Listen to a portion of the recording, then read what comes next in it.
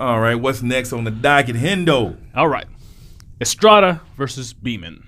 Uh, WBC Junior Bantamweight title. Willie Beamen, keep the ladies screaming. you can defeat me, and you're There- dreaming. There are some cats listening to the podcast right now who have never seen any given Sunday. And they don't know what you're talking about. They didn't say, get that. Shame on you. Shame on you. You have to. This is a classic movie. It's very. It's like a comedy to me now. A comedy. But back in the day, it was serious. It was serious It was like a drama. If you like Jamie Foxx, you have to watch this movie. You, you, even Bill Bellamy's in there. I want to give him a shout out. You gonna give Bill Bellamy a Bill shout out? Bill Bellamy. Yes, sir. Okay, cool. Yeah, but Estrada, he's the guy. He's fighting in his home in Mexico. Uh, Dewayne Beamon has been fighting a lot of fights. I think he's like seven fights in Mexico. Mm-hmm, So he's used to being there with the crowd and how everything's going. So he's not going to be afraid.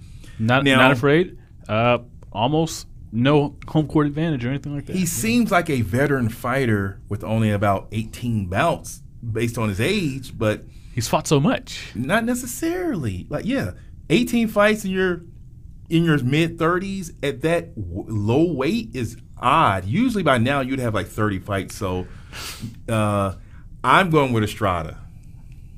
I don't see anything wrong with that. I I'm agreeing with you on that. I think Estrada is gonna beat Beamon. Um, I want Beamon to show up though. I want him because he's been doing good his last few bite, yeah, yeah, but you know, age, all that. Hey man, I, I said I don't like to harp on people. That reason, it just seems like he's hadn't either been inactive or just got a late start.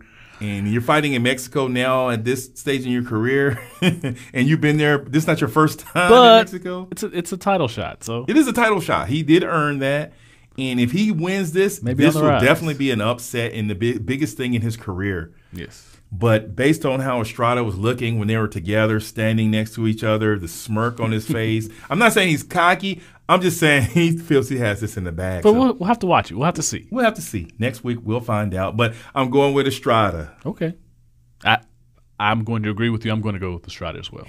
Estrada is going to defend his chip. Yes. You guys Uh, will get that later. Yeah.